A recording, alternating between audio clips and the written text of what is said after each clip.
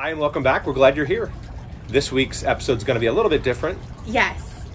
We get asked all the time about how traveling affects our children. We have great positive comments and we have these gasps from people that we know. Well, what do you do about friends? What do you do about toys, education, what have you? And we felt like we have spoken uh, ad nauseum about these topics, but instead of sitting here talking to you today, we thought we would let our children speak for themselves and enlighten all of us, myself included. I Yeah. haven't seen it. I have not seen any of these. Right. We had a lot of fun with it. I enjoyed interviewing them. We thank you for the questions from viewers who want to know. I don't think I've ever heard you laugh so hard when you were rewatching the video. We do this a lot of times, I say, for our kids. We think that it offers them quite a bit of um, a fresh perspective, changing the paradigm of the uh, four walls and the typical way you do things. And we like to offer them alternatives. What they do with it, that remains to be seen. Right. So, in one way, it might look like this is a trip with parents dragging five kids across North America. Sometimes. but in this episode, you get to see how they really feel about it. And I found value in it, and I hope you do too.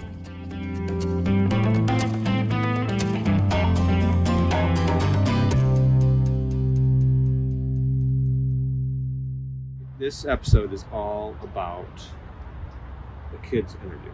So, you ready for the first question? Yes. All right. First question is What's it like sleeping in an RV versus the home that we moved out of? I had my own room. I told myself when to clean my room. Now I have a bed and a bathroom with cabinets. Um, before I had a lot more personal space and personal storage, a lot more stuff that was like very useless. So, like nice pillows to decorate the bed. It's definitely a decrease in personal space and personal storage. Helps you prioritize like what you want um, on a day-to-day basis. I pretty much go to the bathroom Good thing we have two bathrooms.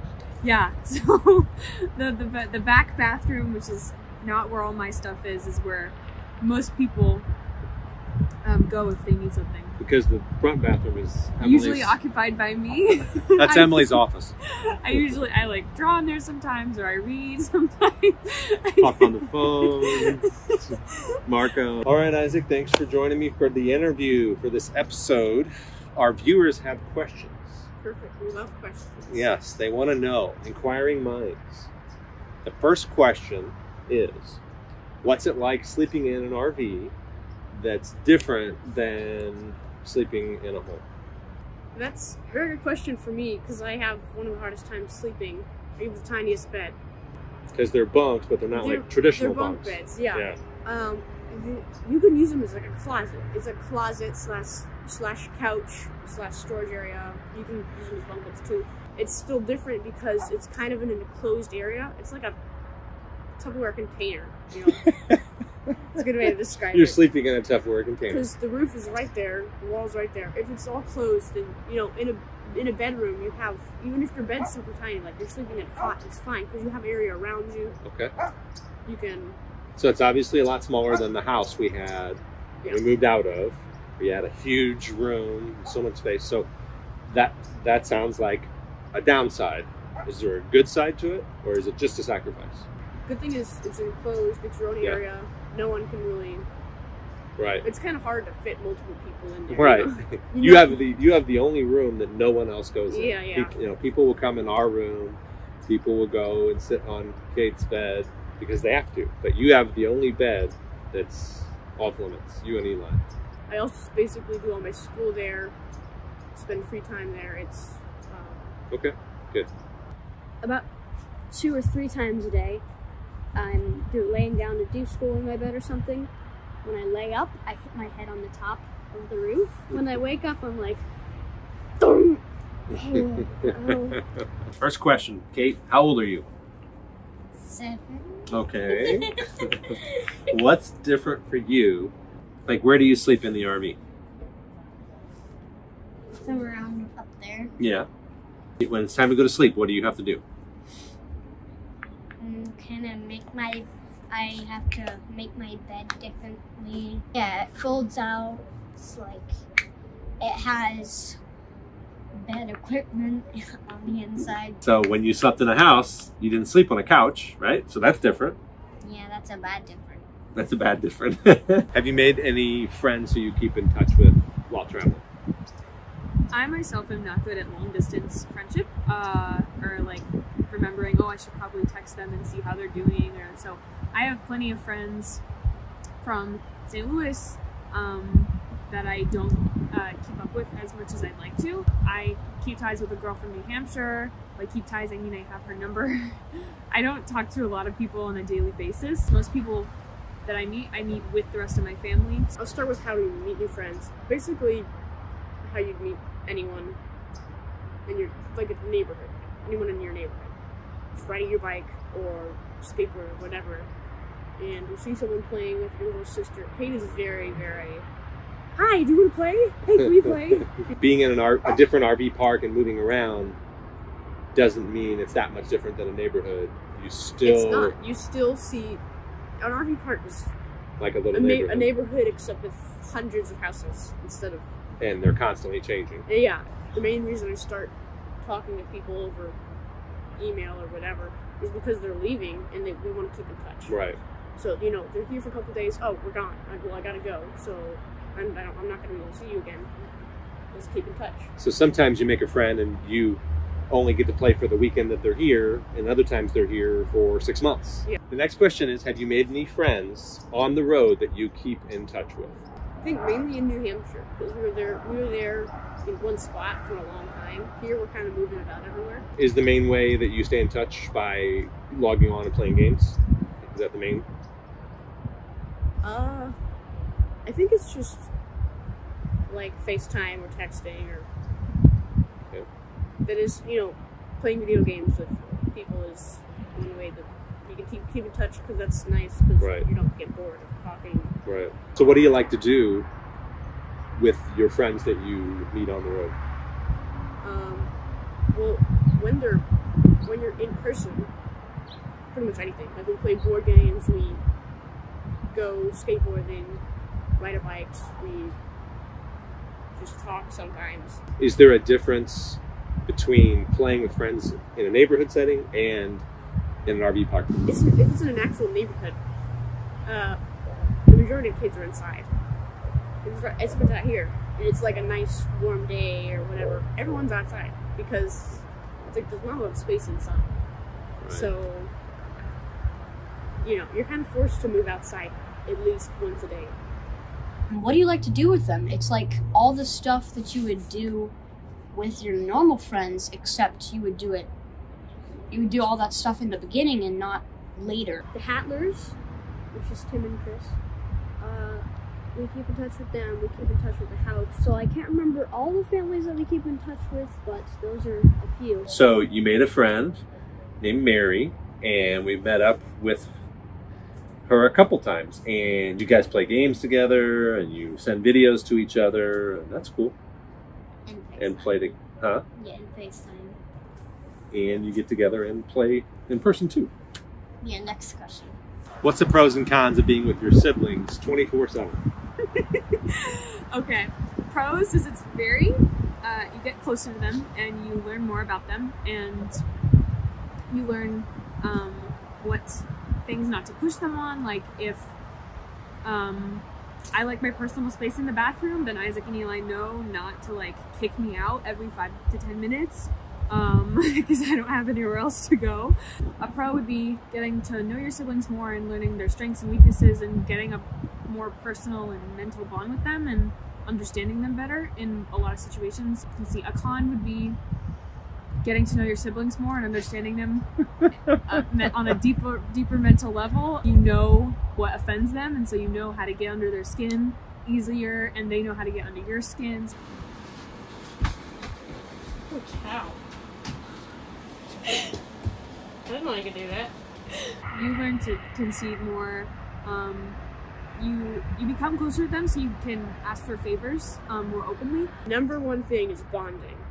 you're kind of stuck together, so you're kind of forced to bond, or else everyone's gonna dislike each other, hundred percent. So you're kind of forced to bond and connect with your siblings more. You um, in a house, you, there's been there would be, be time periods where you're not gonna see people for whole days because they're in a different they're in a different room. In an RV, it's always you're so close together. You're always talking. You're always laughing. You know. Cheekbone. smile, smile, smile. Open, open. That's the good side. That's What's the the pro. Um, con is negative energy spreads like lightning. You can just feel it. So someone says something mean, someone's in a low mood, everyone's in a low mood. It's hard to kind of stay away from that. I mean, if you go outside, yeah, go outside and play. Come back inside. It's just gotcha? it spreads very quickly. But the I guess the positive side of that is if people are in a good mood, that Yeah. spreads fast too. The pros are like you get to know them better, even though you know a lot of them, a lot about them. You can like, it's not like they don't have a space. You get to you like play with them and interact with them and laugh with them the whole entire day. Biggest con would be, and so the biggest pro is you're always together, and the biggest con is you're always together. it's the same thing. So sometimes you really want to be with each other and you want to play, and oh, this is fun, and then other times you just want your privacy and your space, and you can't really get it unless you're somewhere else. I'm gonna start with the good part because it's the easiest to explain. I'm really happy that me and Emily sleep inside of a kitchen. It's like the girls' room. Yeah, kind of. The bad part is since I don't have my own room, I I don't feel good because I like to have my own personal space and have lots of toys to be able to play with. Where is your favorite place that we have been? Oh, on our whole adventure, um, Utah was really pretty. It was hot, but it was really pretty. I really enjoyed it. Niagara Falls was a fun experience. It was one of the first places we went, and it was uh, pretty amazing for me to try to wrap my mind around how this is how we're living now, and we get to see like big monuments that like people talk about in movies and in TV shows and in like the newspaper, and it go, people go crazy for it. A lot of times, the favorite places are um, random places where we share uh, little moments that make this adventure worth it, where you learn something about other people or like get to see them smile, like a real big, genuine smile. So I really like that. Harvest Host Okay. farm. The first Harvest Host. The second one was pretty cool too, but I like the first one. So I'll put links to those Harvest Host episodes here. But Harvest Host is basically families that own businesses that open them up for people with RVs to come in and stay on their property. And if they have kids, then It's awesome. it's a party. Brady, Brady is a nine-year-old, and he drove me around on a tractor. If you mean favorite place by like favorite place, like museums and ships and boats and submarines and all these different things that we've gone to see, then I really can't tell you because there's so many amazing things that we've done. Like the canyons are one of the best things. The mountains, the hikes, it's just all equally, absolutely amazing.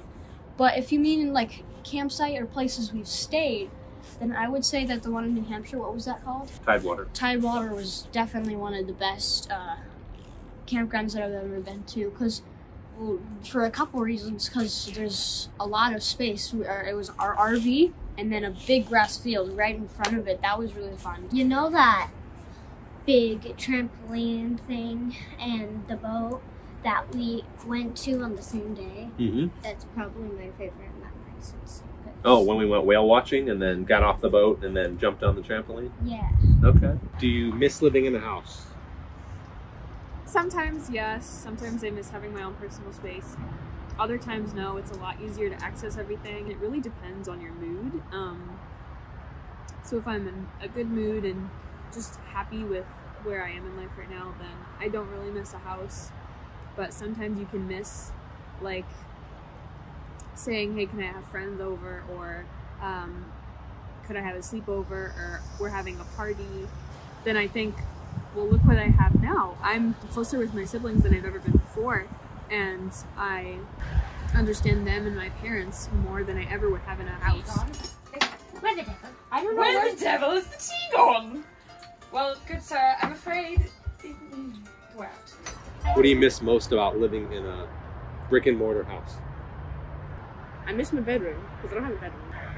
Having your own backyard and front yard, whatever. When you're in an RV, everything's kind of your backyard, but to have your own area, that's, it's, it's still pretty awesome. And another thing is space to run around it, like space to run around in inside. If it's cold or raining or snowing or dark or you don't want to go outside, you want to have space to run around. a lot more room, not having to like struggle when when when, when we're moving.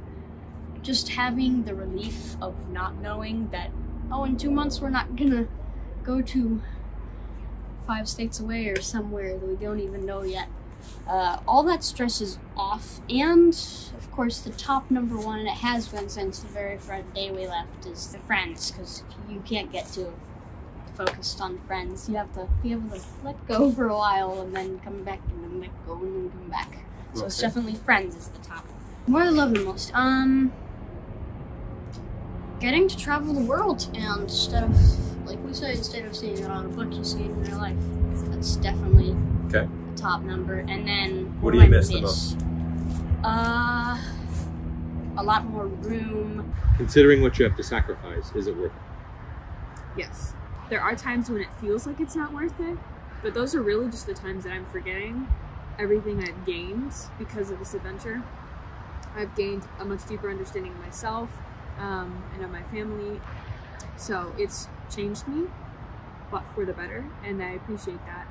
Uh, and I definitely don't regret going this adventure. If you asked me when we were thinking about this, I would have said no.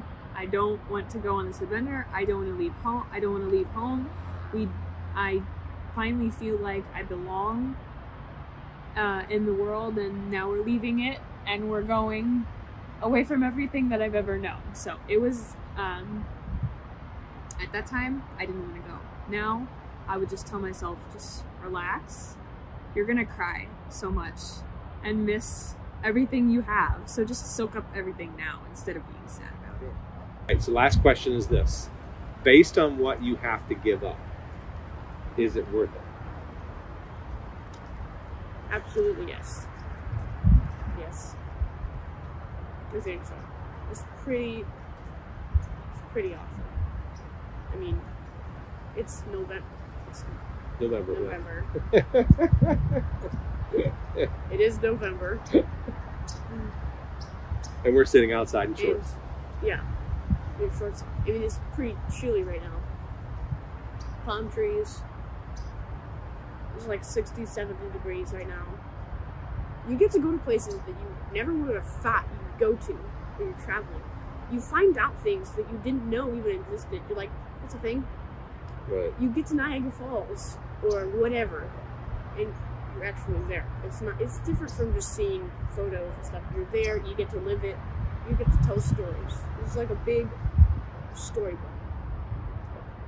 Good way to put it. big movie. You live in a movie. awesome. It's pretty much worth it because there's a lot of experiences, but there still is a lot you give up in that time. So So you're saying you might have an idea of some of the sacrifices you'd have to make going into it, but then when you get into it, you realize. it's those and more yeah, that you didn't even know existed. But yes, overall, it is worth it. it's worth it. Okay. If we had to do it over again, would you sign up to do it, or would you say count me out? Count me out. You'd say count me out. what is the hardest you have laughed while being on the RV, and what made you laugh so loud? When we were like at that parking lot campsite, remember that Mhm. when we were right next to an airport? Uh, you took me on a bike ride to ice cream, and we were going down this huge hill, and that it was so fast my eyes started to water. Was that a fun day though? Yeah, it was a really fun day. Mm-hmm. Because we had breakfast, or we had lunch on the beach, didn't we? Yeah. That was awesome, huh? Well, that was a fun day for me too. Mm-hmm. That's a good memory. Kate and I just rode a couple miles down from Dockweiler to Manhattan Beach. Really nice bike trail. We've got a little outdoor cafe here. It's huge. Waffle cones. They've got all kinds of um, equipment to rent here. Beach is clean. Swing sets on the beach. I think we'll probably make it down here more than once. I went with tuna melt with jalapenos and a pina colada smoothie. Let me hear that ice cream bell. Oh yeah, I'll take an ice cream. you laughed the hardest during triple time. Don't cut this part out. Mercy, can I ask you a question? What? What is your favorite thing about living on an RV? Scooting. Thank you so much for watching this episode of Swift Family Robeson Expedition. We hope you enjoyed and we hope you come back next week. Please like and subscribe and leave a comment if you have any more questions because we love the questions. Questions are so fun to answer. We'll see you next week. Bye. In Southern California, Huh? it's where the people We can't have a hole in your knee for the video. Do this the whole time. No. you gotta change. You gotta throw those away. This chair broke. Yeah, I know. Don't try not to. Oh, God. you went all the way through. We need a new love seat chair. Let's make him the blue I'm just gonna sit like this for the rest.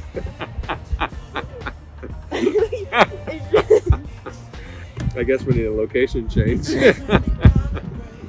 nice work. By the way, um, I I didn't rip this just now. This was from the very beginning. I ripped it before we started filming. I was just like, I thought you had to go to the bathroom this whole time. I didn't, I didn't realize you're trying to stay above the chair line. All right, well, let's go. Uh, we'll switch locations. yeah. My gosh. The tiny rip that you made, and I'm so much lighter than you, and I completely destroyed it. All right. I just like being at home with a big area and seeing my friends almost every week. That's what we we used to have a party with Felicity and Lucy like every week because you you and mom were so rich. Uh, okay.